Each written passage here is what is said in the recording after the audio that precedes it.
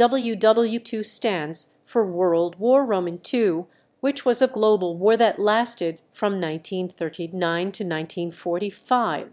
The war involved the majority of the world's nations, including all the great powers, and it was the deadliest conflict in human history, resulting in an estimated seventy to eighty five million fatalities.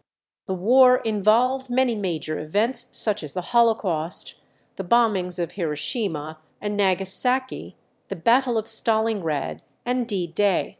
It ultimately ended with the unconditional surrender of Germany and Japan and the beginning of the Cold War.